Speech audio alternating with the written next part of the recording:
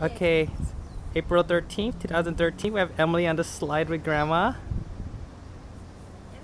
Come on. Come on. Go, Emily, go. Good job, Emily. we'll try again.